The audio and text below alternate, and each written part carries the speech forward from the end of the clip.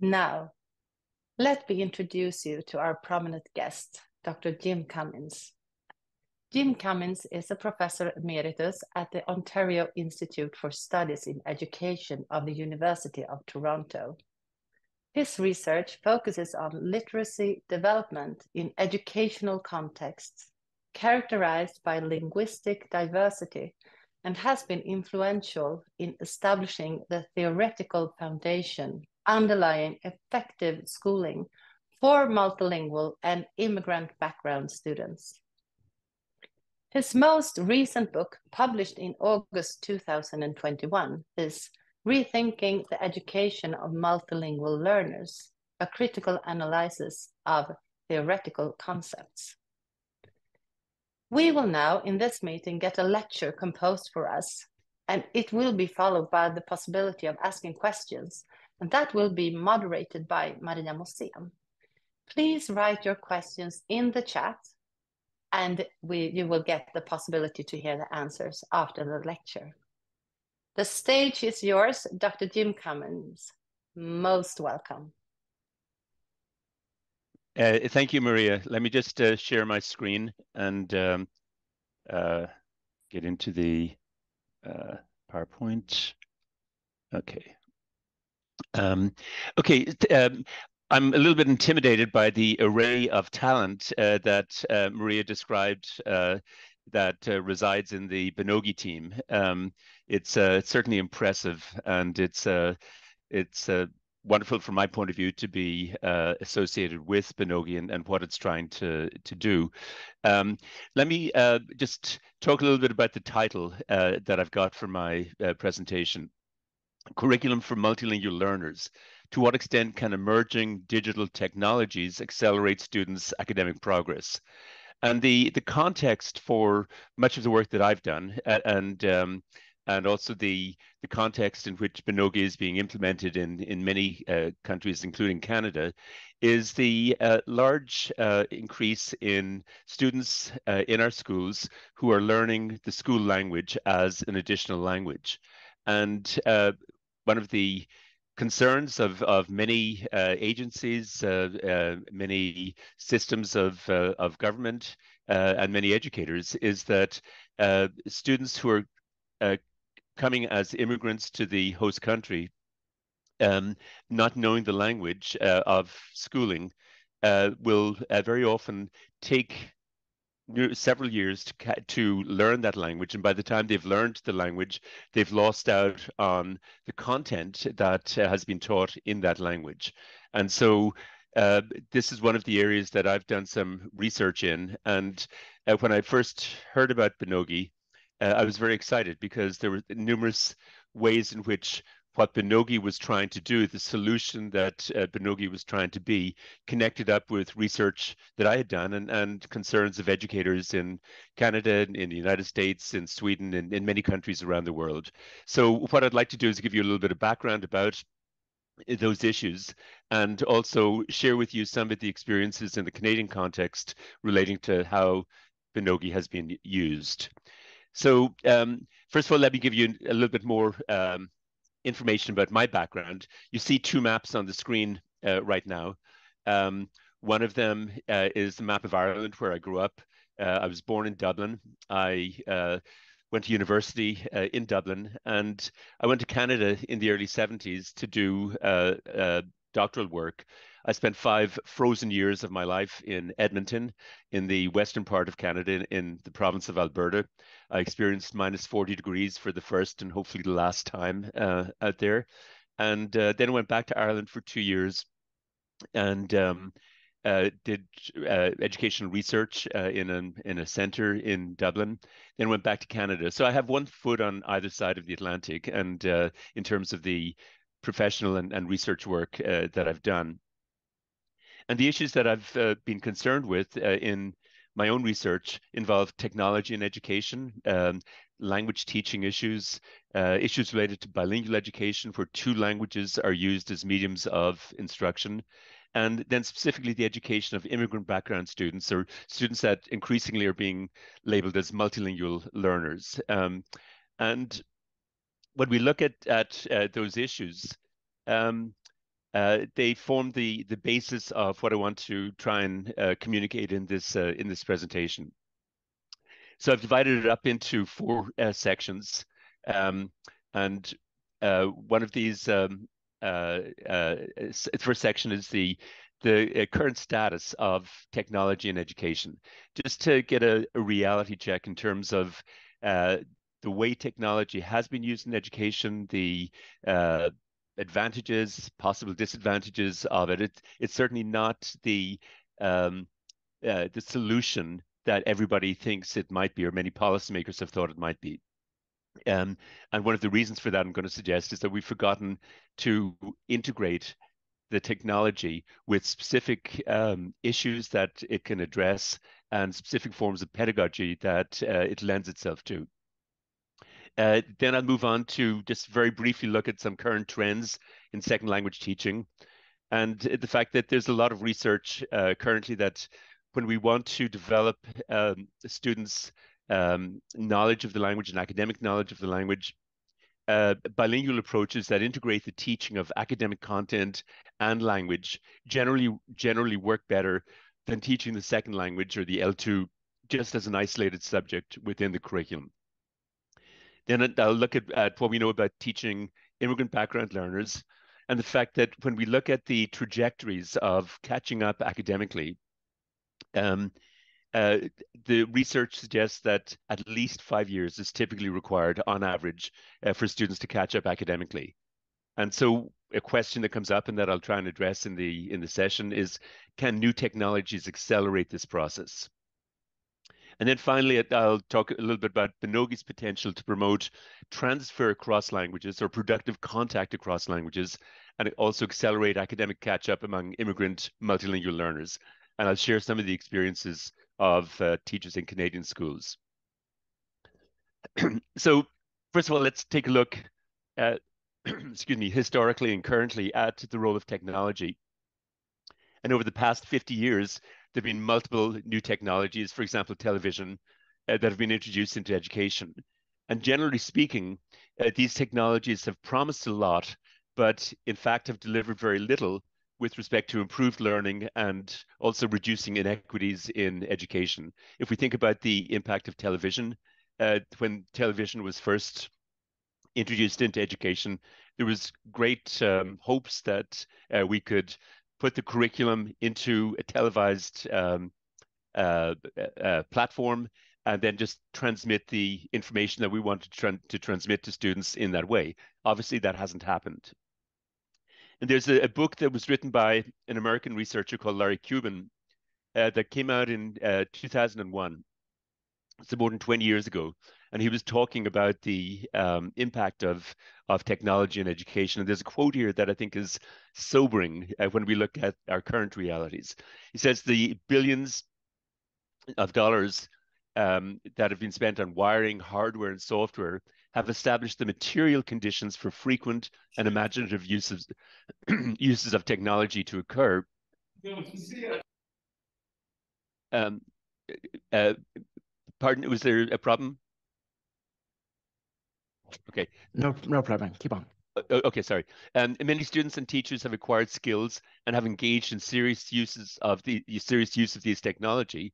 Nonetheless, overall, the quantities of money and time have yet to yield even modest returns or to approach what has been promised in academic achievement, creative integration of technologies, and transformations in teaching and learning. And when we look at the debates about technology use over the last 20 or 30 years, critics have highlighted the, the fact that a lot of scarce resources have been diverted into technology from other areas of the curriculum. And they pointed to the failure of virtually every technological innovation introduced to schools during the past century to improve learning in any significant way.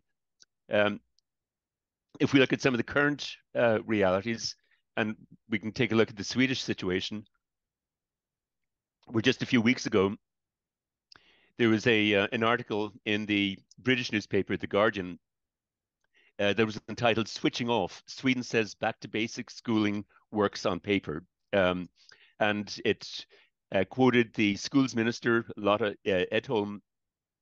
Uh, her skepticism in relation to just handing out uh, tablets to uh, to students and expecting magic to happen. Um, and so she's been one of the biggest critics of the all-out embrace of technology. So that debate is continuing, yeah, in our schools uh, as we um, uh, uh, uh, as we as we're talking. It's uh, and this is a, an international debate. To what extent can technology improve education? And the the jury is still out on that issue. um, so if we look at um, uh, some recent trends in second language teaching, um, there was a, an assumption over many many years that when we teach in uh, second languages, we should stay within the second language and try to keep students' home languages away from any kind of corrupting influence on on students' um, uh, learning of the second language. and that has changed over the last 15 years. There's been much more focus on the fact that the two languages can help each other, that when we bring them into productive contact, there can be benefits not only for learning the second language, but also uh, for uh, students' knowledge of the first language. There's a growing emphasis on the notion of translanguaging, which some of you may be aware of. Uh, and this involves often teaching for cross-linguistic transfer, promoting language awareness, excuse me a sec, and enabling students to carry out creative and intellectually challenging projects with the second language. There's also been a, a growth in the number of bilingual programs and second language immersion programs that have been implemented. And what the, for example, in, in the Canadian context, there's a large network of what are called French immersion programs, where students from English home backgrounds or sometimes other home backgrounds are taught initially through the medium of French. Uh, and these have been evaluated very widely. And what has been found is that students develop reasonably fluent oral and literate second language skills at no cost to their literacy skills in the first language. Uh, it doesn't, these are not magical routes to second language um, uh, proficiency because there's still issues in terms of students' knowledge of grammar, and in both oral and written use. and then in many European countries, we have what are called content and language integrated learning or CLIL programs. And this is a less intensive form of bilingual education in which one or two subjects are taught through the second language, usually starting either in the upper primary grades or lower secondary school grades. And again, these have generally been found to be quite successful and more successful in teaching the language just as a subject. So what we see here is both a, a trend to bring students' languages into productive contact and also looking at how content across the school curriculum uh, can be uh, integrated with learning of the second language. And again, both of those trends are evident in uh, also. So if we look at, at what the research is saying about some of these issues, um, what we see is uh, the fact that the two languages are not necessarily separate in the learning process. And many years ago, but more than 40 years ago, I tried to formulate a visual metaphor to represent that. And this double iceberg or dual iceberg representation of bilingual proficiency is uh, what you see in the screen. And I've called this a common underlying proficiency and this is this forms the empirical basis for teaching for cross-linguistic transfer. And what this is basically saying is that even though we can distinguish languages, Swedish is not the same language as English, Chinese is different from both of them. At a surface level, um, languages can be clearly distinguished. But at a deeper level, at a deeper cognitive level, there's a lot of overlap or interdependence across languages. And so this common underlying proficiency represents a fusion of cognitive, academic, and linguistic knowledge. For example, if you think of a, a concept like democracy, um, obviously something that's in the news a lot these days. Uh, this is a, a concept, it's a cognitive uh, uh, concept. It's also part of the school curriculum. It's an academic concept.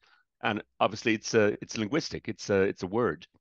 If we want to go into detail about its linguistic origins, we can go back to the Greek uh, and uh, the two words or the two uh, parts of the word uh, demos and uh, krasi. Um, refer to the people and power, power to the people. And so that's what we're talking about in terms of what transfers across languages. Um, there's another um, metaphor that I think also illustrates very well the um, the nature of the neurological connections across languages. And this comes from a New Zealand researcher, Sophie Tauwehe Tamati, uh, who pointed to the Kahikatea tree, which is a tree that's unique to New Zealand. And it grows in waterlogged, swampy soil. And so the roots don't go down very deep because of the nature of the soil, but they gain their strength because they the roots intertwine with each other across multiple trees.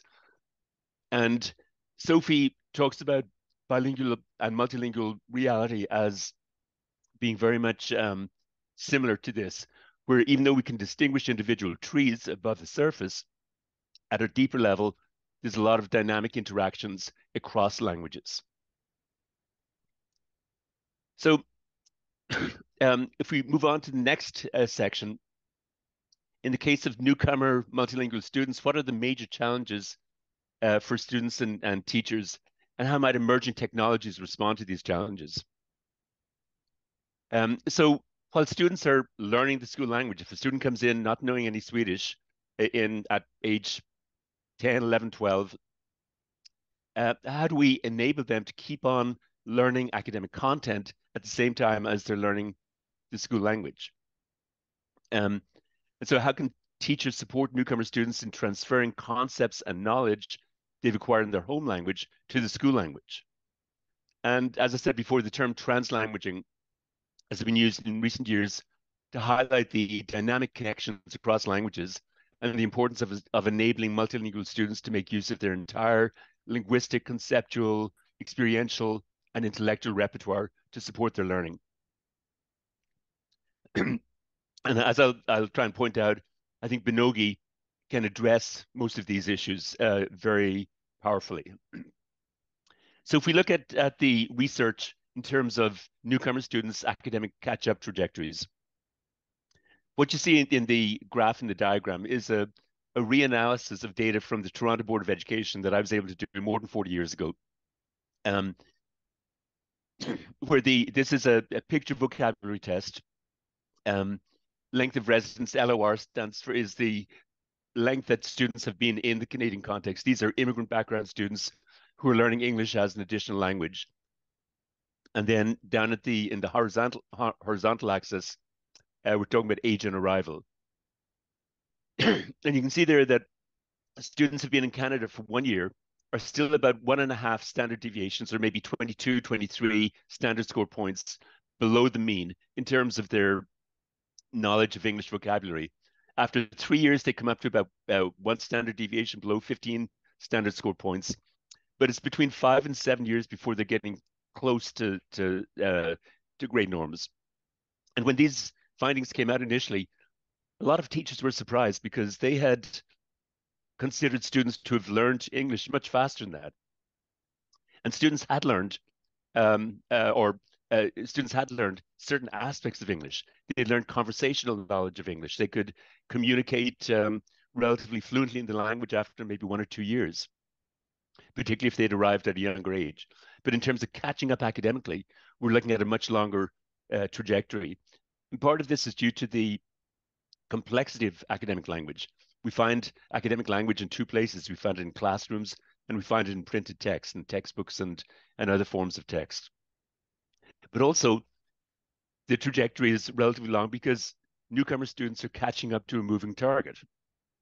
Native speakers are not standing still, waiting for second language learners to catch up every year they're expanding their mother tongue vocabulary, they're expanding their reading skills, they're expanding their writing skills. So newcomer students, in a way, have to run faster in order to bridge that gap. And so an issue comes up, how can we uh, accelerate that process or can we accelerate that process? And this is where Binogi comes in. Um, because unlike a lot of um, uh, magical thinking surrounding technology where we just give tablets to students and expect magic to happen. Binogi responds directly to the challenges that newcomer students have. And it also responds directly to current trends in teaching additional languages.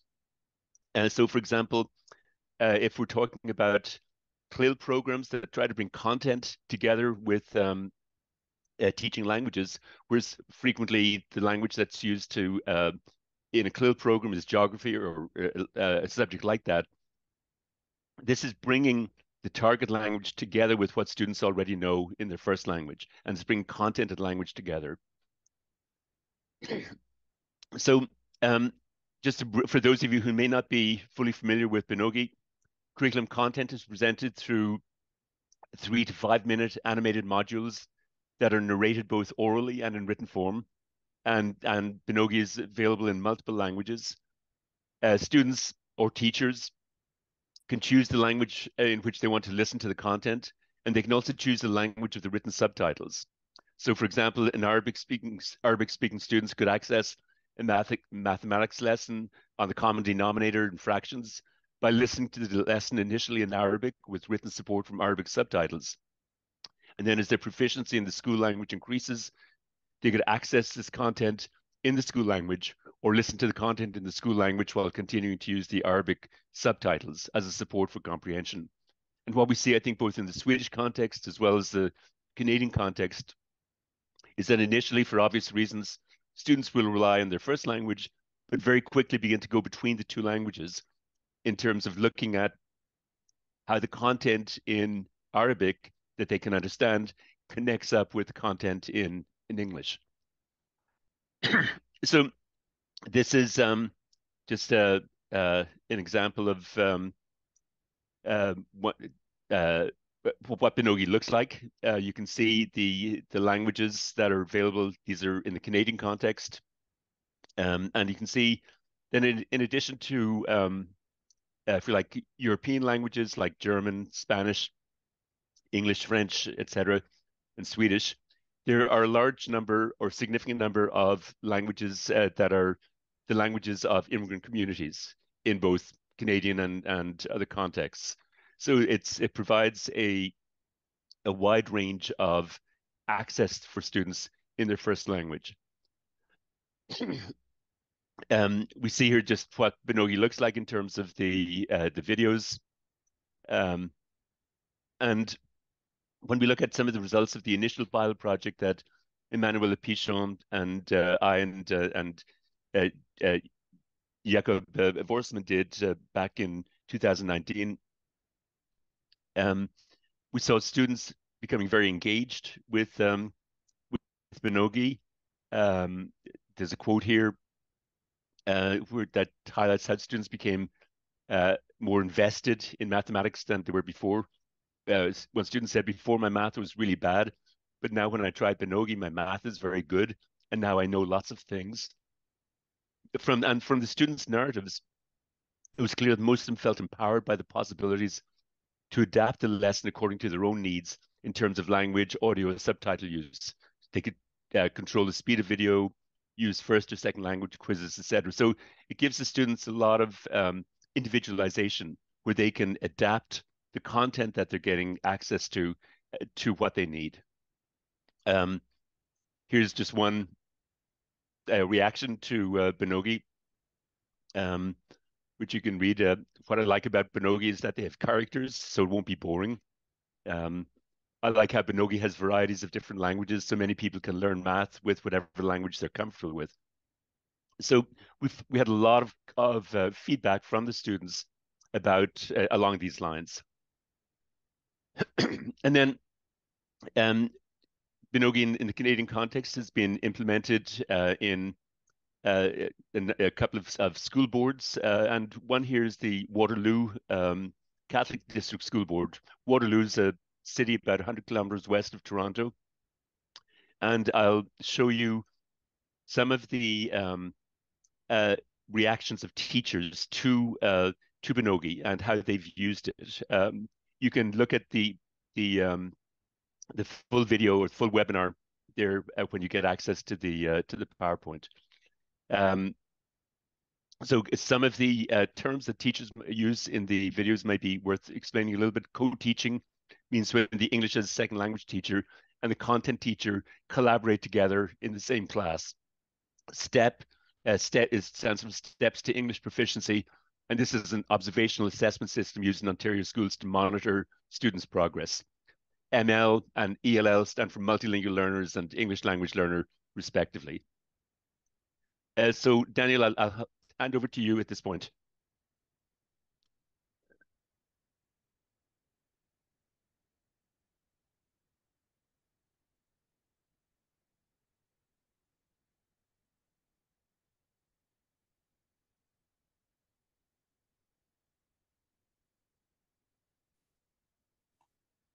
Thank you, Jennifer.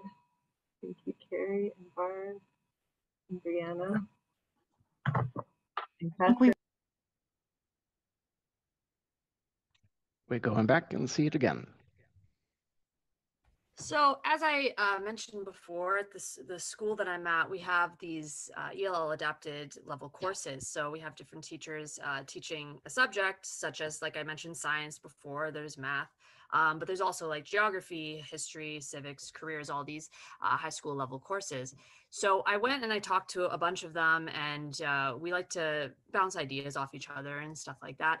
But uh, the thing that I noticed was a lot of the time we talk about uh, the use of translators um, for a lot of these students. And I think it's important to note that when a student is learning in the language in their L1 language or their first language, um, they're a lot more comfortable and it allows them to feel more uh, like they have a sense of belonging in the classroom. And with that comfort, they get a lot more confident in uh, their ability to let you know what they have learned. Um, and with this, like uh, teaching them in, in English is one thing, um, but allowing them to have the, these different sources where they can learn things in their own language, like using translators or even uh, things like uh, a Binogi, which is, you know, based off science and math, um, is is definitely very beneficial for them and uh, for them in their learning. And when I talked to other teachers, they said uh, there was examples passed around, like the one student um, was given uh, a test uh, in chemistry and they didn't do very well. But in class, they were very vocal and, and they seemed to understand what they were doing. But it seemed on the test, they just got confused with the English that was on there. So uh, the next test they were given, they were able to use the uh, translator so that they were able to read the test in their own language. And then they were able to do, they did, their grade went up a lot. So they ended up doing a lot better because now they understood what was being asked of them. And I think that's uh, the difference. So uh, we have to remember that in these courses, they're not being graded on their ability to speak English. They're rather being graded on their ability to learn the curriculum. So in these subject adapted courses, it's really important to remember that.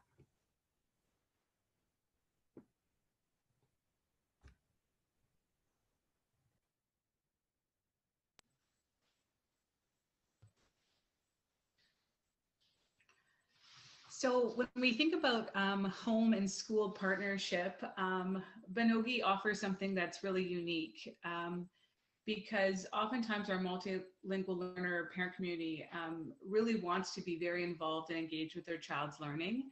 Um, and this allows them to do that. Students can go home and share um, the learning that's been happening in their class with their families. and parents and kids can watch content videos together in their home language and complete quizzes uh, together and uh, try their best to uh, learn a, a, science task or, or, or a skill um, or content area uh, together at home. So they are able to learn not just with their teachers, um, but maybe with uh, another guardian or parent that does speak the same first language and home language as them as well. Uh, it really helps to affirm a student's background, um, knowledge, and experience so it invites a family's experience into the learning and, and acknowledges again that academic learning is not exclusive to English, um, just like Brianna pointed out and, and my other colleagues. So uh, it was really neat a, a few um, months ago, so prior to Christmas break, um, in um, the co-teaching class that I'm a part of, it's a grade seven, eight class. Uh, we um, had the opportunity, obviously, of, of trying some Binogi tasks um, and assignments. Uh, and kids completed a few quizzes um, in class. And we simply told the kids to go home, bring their Chromebooks, put it on the kitchen table, um, and just play some lessons together, let their parents and, and family members listen. And, and slowly we found out that by doing that and, and parents hearing academic language in their first language really uh, became the central pub uh, or sorry hub um, around that Chromebook. So there were a lot of kids um, also like maybe their age or a little bit younger or older that were taking part in some of the lessons as well and being part of that conversation. Um, one uh, specific girl really stood out to um, my co-teacher and I because uh, the next day after we had first launched the lessons and told the kids to to go home and share, um, this the student's really quiet, really reserved uh, student. Um, she was we we met the kids as we always do outside in their line before coming in uh, the doors, and as soon as she saw us come out, she got out of her line and came and addressed me and said, Miss Mendez, I went home and I showed them. I showed them Binogi. And my dad said, uh, it, it, was amazing. It's fantastic. Uh, and you could see just the joy in her face from being able to share. It was it really kind of uncharacteristic of her to, to, to share something like that with us uh, up until that point. Um, so you could really see that there was some really true love and engagement that came with uh, the conversations that were happening at home. This girl specifically, she is a higher step student, so she's not often needing to leverage her first language um, anymore in classroom. Um, but her parents, her parents do. Her parents do require uh, to hear the first language for them to be a part of the conversation um, and academic learning. So the child was just so happy to have shared that uh, with her parents and that her parents felt that she was doing something good and that you know school environment was a happy and, and fun place for her to be and so that really validated her feelings and for us i think it it filled uh, my co-teacher and I up just as much as it did her that day. Um, and in many other cases, in, in conversation with other students, we've had, um, I had one Spanish speaking student who, who shared that her mother is learning a language, some adult language learning courses to learn English and some other courses as well. And she, um, she's been using Binogi as a tool as well to learn so that they're actually doing it at home together. So, um, which is a very neat experience. So I think it really does, Binogi really offers a really unique and maybe innovative way for the very first time where we're seeing a lot more uh, home and school partnerships happening.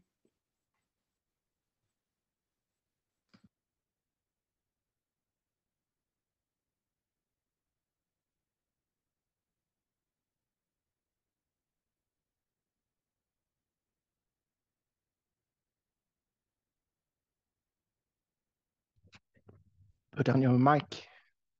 Jim.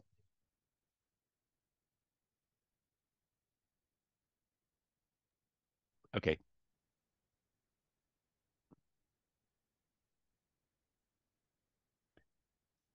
Um, so I think you see some of the unique aspects uh, of Binogi in those um, uh, teachers' uh, uh comments on on it. First of all, um, stu when students can show their knowledge in their first language, uh, they can show more than they can typically show in the second language during that five plus year trajectory when they're catching up. Um, and we also see from what Jennifer Mendez was saying in the, the last comment by the teacher uh, about the potential for Binogi to engage the family, to uh, be a catalyst for conversations in the home about what students are learning. So rather than the typical situation where many immigrant background parents are uh, essentially excluded from any real involvement uh, with the school because they don't speak uh, the language and they can't understand what's going on, here you have Binogi acting as a catalyst for these really productive uh, conversations uh, that involve the entire family. And so students um, are enabled to connect their first language knowledge to content and language in the school curriculum. Um, there also, uh, uh, we, we see from the research that we've done that there's uh, the potential for far greater engagement by students in learning. And there's also a shift in student identity in their self-image from feeling incompetent when they come and they don't understand the language, they don't feel very intelligent because they're they know they're not doing well in class, even when we try to provide support for them in the learning. But we see Binogi has potential to move students' self-image from feeling incompetent to feeling competent and from frustrated learner to confident learner. The home language quizzes provide a more accurate assessment of content learning than assessment only in the school languages. And again, as Jennifer was uh, highlighting there, there are many possibilities for promoting homeschool partnerships and increased learning in the home. So I think Binogi has a lot of potential uh, that um, uh, still needs to be uh, exploited, still needs to be uncovered. And we're just, I think, beginning to scratch the surface of uh, how this tool can really transform education. So I'll stop there and look forward to uh, trying to answer some of the questions that you've got.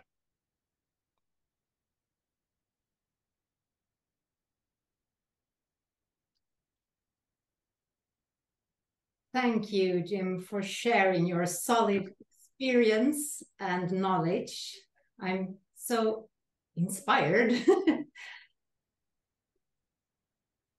I can't see that anyone else had written anything yet, so I go ahead. And uh, I stand here and think of many of our Swedish students uh, who start learning English at an early age. Swedish is a small language, of course, uh, worldwide. Can your conclusions about parallel language and knowledge acquisition benefit Swedish students learning of the third language, German, French, or Spanish, which is added at the age of 12? If we teach the new language at the same time as we teach subject knowledge in mathematics, biology, chemistry, for example. I get so uh, curious about the uh, neurological connections, you say. Can you explain a little bit more? Um, sure. It, we're talking about neurological connections. We're talking about uh, linguistic connections. If you take Swedish and um, and English, for example, uh, they're very very clear uh, rationales for bringing the two languages together because there's so many cognate relationships between the languages. And this, uh, when we understand the nature of English and the fact that English is a hybrid language, uh, then some of this becomes clear because the um, uh, the uh, uh, language that we use in typical everyday uh, contexts in English, the everyday uh, high frequency words that we use, uh, come from the invasion by of what's now England by the Angles and Saxons, tribes from northern Europe, um, and after the Roman Empire began to disintegrate, they they brought their languages uh, to um, uh, to what's now England, and uh, that was the language of the ordinary people. There wasn't a lot of education going on, uh, and then in 1066, William the Conqueror invaded from northern France, and he and the Normans uh, brought their language, which was a variety of Old French, heavily influenced by Latin and to some extent Greek. And so English um, is a hybrid language where over the next several centuries, um, the, the, two languages, the Anglo-Saxon language that the uh, Angles and Saxons brought, integrated with the um, uh, Latin-based language that the Normans brought. And the Latin-based language was language of the ruling class. It was language of high status uh, functions. Obviously, the church was already using Latin, but the, uh, the le legal courts or legal system, the education system, all used Latin uh, for many, many years. And so when we look at English right now, those divisions are still there. And so if we're looking at, say, Swedish students learning English, there's going to be a lot of uh, uh, uh, relationships, uh, words with the same roots in terms of the everyday language, the high frequency words in English. Many of them have very clear cognate relationships with Swedish, with Norwegian, with German, with Dutch, etc., uh, the languages of Northern Europe. But the language of academic uh, work uh, comes predominantly from Latin and Greek. And again, that will have influenced uh, Swedish also. So bringing the two languages together and kind of stimulating those neurological pathways to make those connections, uh, I think is very, very powerful. One, one of the issues uh, I think with uh, English too is English, as we know, has become basically the lingua franca, particularly among younger people. There's a lot of media in English. There's a lot of youth culture in English. So arguably, English is an easier language for students to learn um, than say a language that is is less commonly used internationally, like for example Swedish, and so that that may mean that students learning English in an English-speaking country make faster progress in, in terms of conversational aspects of the language or everyday aspects than they might in um, in say stu students learning Swedish as the as the uh, everyday language. So uh, there's lots of, of potential for using a tool like Binogi in teaching additional languages, in addition to its obvious potential for uh, for use with newcomer students.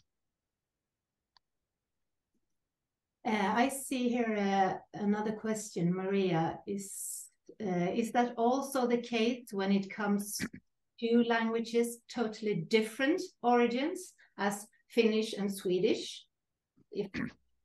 If when we look at the transfer across languages, there's clearly the linguistic transfer that'll come when languages have common roots. Um, but there's also conceptual transfer. The, for example, if we have a a student uh, from, say, an Arabic-speaking background who comes into to Finland uh, as a as an immigrant student, um, let's suppose this student is 12 years old. She's been to school. She's learned science. She knows the concept of photosynthesis she doesn't have to learn that concept all over again uh, in to understand it in Finnish. She obviously needs to understand how to talk about it in Finnish and the Finnish vocabulary that's used to talk about that, but the concept is already there. So when we look at the transfer process and the languages coming together, it's not just languages that are similar linguistically, it's also the concepts that, that students have. Another example is if a student um, knows um, how to tell time uh, in uh, in their home language. They don't have to relearn that all over again. They don't have to learn that there's 60 seconds in a minute, 60 minutes in an hour, etc. They have that knowledge. So it's a case of uh, bringing that concept, those concepts together with the new language. So interesting. I can see Charlotte Stenlund is also say interesting. Thank you, Jim Cummins. This is why we need Binogi and content for the younger children as well. Please develop this. It is very much needed. That's nice to hear. It was not a question. Read it. Uh, do we have any more questions? Can't see any yet. Is there anything you want to add for us? uh, listeners in Sweden and Finland what we should think about or what we. And just to, uh, looking at the experience in Canada, where initially um, there was enthusiasm from some teachers, but other teachers were stressed. Obviously, COVID was was happening at this time, so there was a lot of additional stress. And so, um, uh, if it's only one or two teachers in a school that are using it, then it's going to be less powerful than if the entire school is going to uh, buy into it and see it as a tool that, that that is not just something that the English as a second language teacher uses, but it's something that can be used for teaching science, for teaching mathematics, etc. And so, it, when when the, the entire school uh, becomes familiar with Binogi, when they use it across the curriculum, and when they involve parents, uh, then it becomes a very very powerful tool. Uh, but initially, for the reasons that I mentioned, not all teachers were willing to put in the what they saw as an extra effort to learn a new new tool, new system. They were already under stress. They were trying to deal with uh, the aftermath of or the reality of, of the pandemic and the aftermath of it. So I think what you saw or what you will see if you look at the entire webinar from the teachers is that when you have a team of teachers who are using it together, then uh, they stimulate each other in terms of ideas of how to use it. Uh, they talk uh, more about how to uh, get students engaged. And so it can be a very, very powerful tool right across the curriculum when you get a team of, of teachers using it within a school. Use, you know, is implementation the have for support. I can see one more question, but it just disappeared. No, huh. Uh, does Jim have any hands-on tip to teachers if they want to use Binogi to map the knowledge that the students have in different subjects from the education systems in their in their home countries. Well, uh, one of the uh, things that Binogi does, is, obviously, as we know, is, is can present content in students' home languages. And so uh, if we have a student who comes in, say age 12, 13, and we want to know, well, where where are they in mathematics or what science have they learned up to this point? Um, there's two two ways in which we can use uh, Binogi here.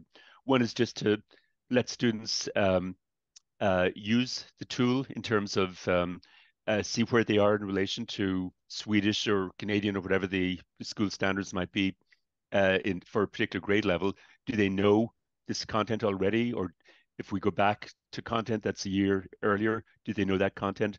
Where the where where is their knowledge based? Where are the gaps that might be there?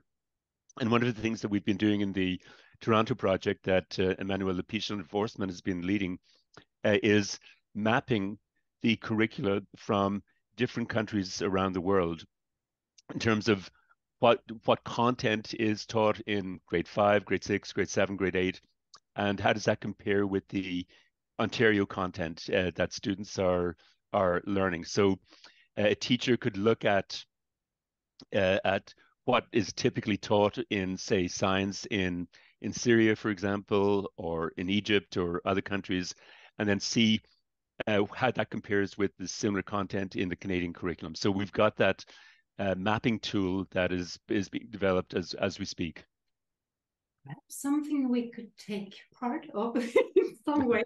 I, I can I see uh, one more question here from Kaisa Alm. We think it's very hard to start working with students without school background. How do we start? Yeah, th that's a, a really challenging one. Students who, who are coming in without having had the opportunity to go to school uh, obviously have major challenges. And uh, we may be mandated by ministers of education to teach particular content at you know grade 8 9 10 11 and obviously that doesn't work when students have no uh, academic background.